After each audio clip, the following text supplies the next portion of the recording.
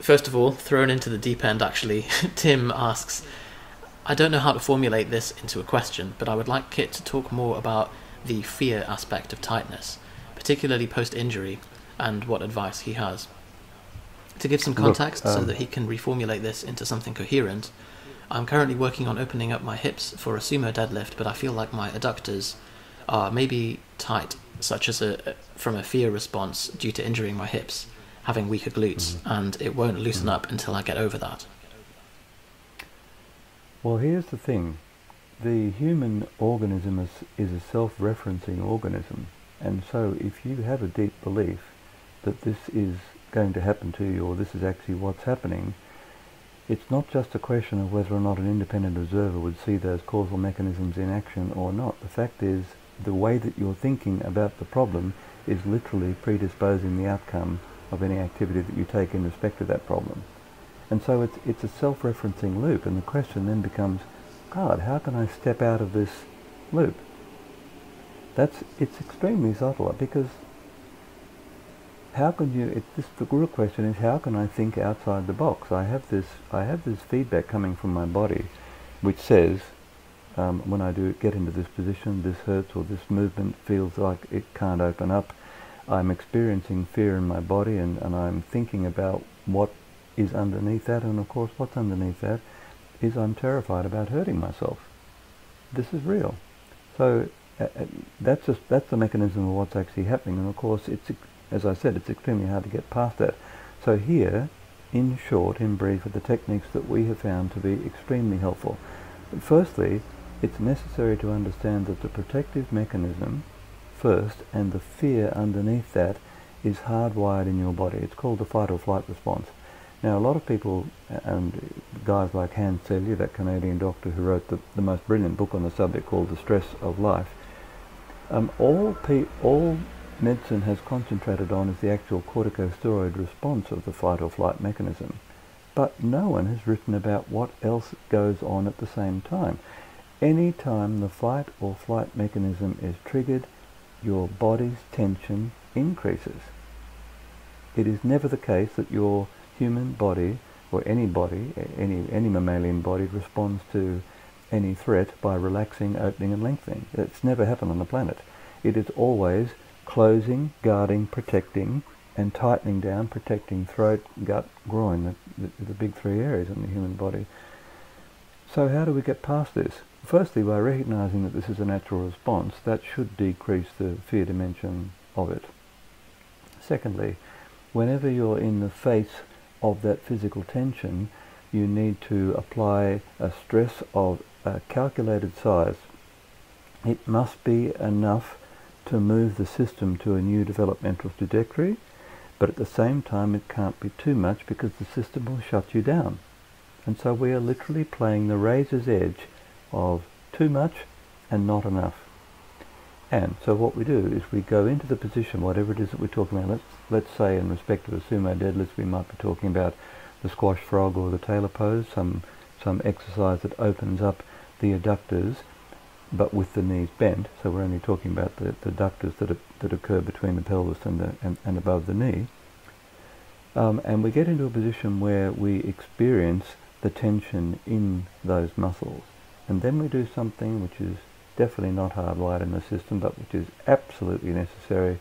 You take in a deep breath and you literally let the body go soft. Now, we, we've just come out of a workshop in, in London. It was just, just so amusing. I, I'd walk up to this guy, let's say it's a guy, it could have been a girl, and say, you, I, would say, are you relaxed?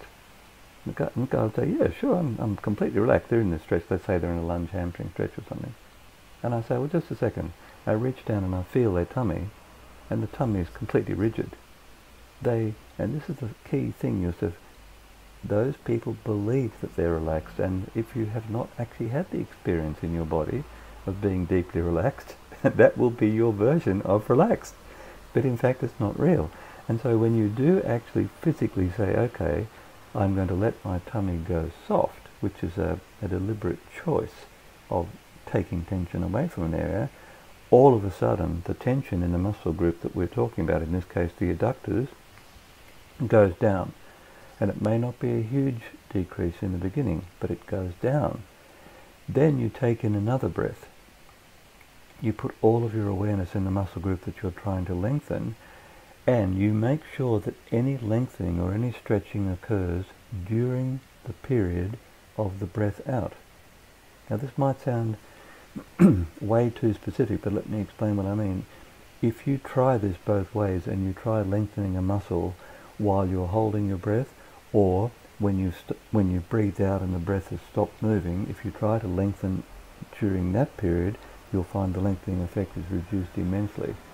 If, for example, you're doing a stretch and you find that you run out of time, as in you breathe out but you know you can still go further, stop moving when you breathe out, take in another breath, check to see that you haven't tightened up in the process, and then once again, as you start to breathe out, let your whole body go limp and try to try to move a bit more deeply into the range of movement. If you can do that, you will always get more movement. I think this runs up against the typical way that people stretch, and it certainly changed the way that I stretch, which is hmm. set a timer for 30 seconds, grit as hard as you can, and just bloody just go for it until you can't handle it anymore. And yeah, very rarely do you gain any range of motion unless it's just by pure attrition. Um, Yeah. And the other point that you mentioned as well about the relaxed abdomen, I think maybe 80% of the people listening, if they're sat in their car or sat listening to this, probably realised that they were holding tension in their abdomen even when you think that you're relaxed. And it's Yeah. crazy because we're not we're not under a physical threat, but we do just have these these resting tensions that we only realise when we when we tune in. So I suppose the three Exactly, points there and- uh, for and- Tim. and- Go ahead.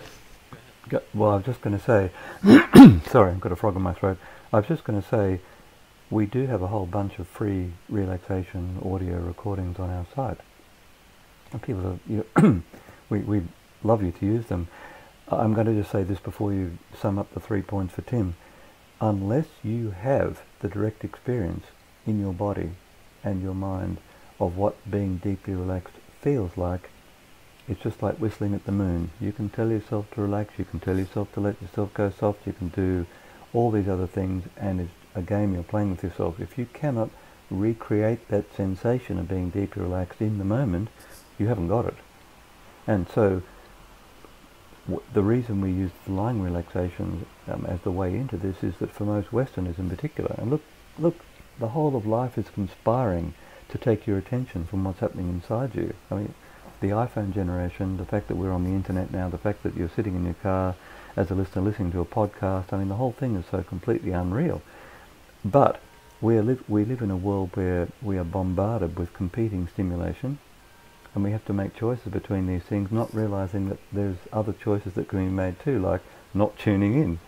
Anyway, given given that we uh, we are at least we hope we are trying to use this this medium as a means of helping people to um, I, I don't like the word cope with their life better. I'm actually, we really should be saying to help people feel more comfortable about living their life and being happier about living their life, then I think that's a legitimate use of the technology. But anyway, you were going to sum up the three things for Tim. Sure, so many ideas now, but yeah. So Tim, um, I, I guess there it's bring awareness to the area, apply a calculated stress to that area that's that's only slightly beyond the current range, and then on the exhale, learn to learn to breathe out into that and to, to lengthen on each exhale. And if you find that you could go further, take another breath, hold steady, and then go for a further breath. While you're breathing out, do the further movement. But and the key thing, the key, the absolutely key thing, which is actually a new part of our work, it's only probably a year old now, is every time before you're about to re-stretch something, do check in to see whether your tummy is tight or not. 99 times out of 100 it will be. And by just letting it go soft, which of course is the antithesis of the buff body, right? So there's this, this other thing happening in the mind here. Let yourself go, apart from whatever you're using as tension to hold yourself in the position that a stretch requires, all other tension, let it go completely. Let your tummy go soft. If you're working with someone, ask them to press your tummy gently. And you'll, you'll be thinking that you're relaxing, but as soon as you feel someone pressing on your tummy, you'll think, oh, actually, yeah, I can relax more.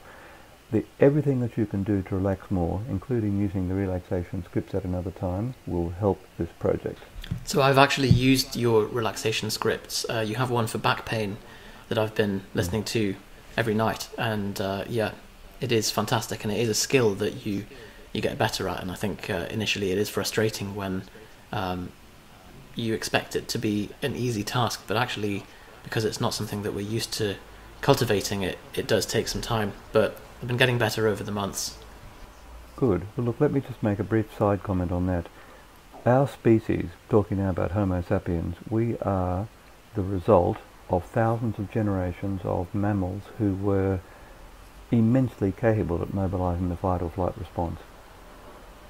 And we are on the planet even now, we're the supreme killers. I mean, that's a terrible thing to say, but it's also real. It's true.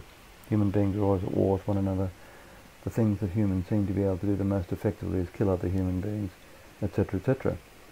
But here's the thing. That's a sympathetic nervous response, as you know from your study. And up until now, there has never been a powerful reason to develop the opposite response called the relaxation response, and that's mediated through the parasympathetic nervous system, as you know, which literally switches all of those switches in the other direction. It is not natural for human beings to be relaxed. I, I agree with that completely, but I will also say that being able to relax when you want to is simply another skill which you can develop. We, we say if, if you want to be able to relax, you've got to commit yourself to practicing for a month. But then we say, if you're really serious about making a change to yourself, you've got to practice for three months. If you do daily practice of those relaxation scripts for three months, you will literally be a different person at the end of that period.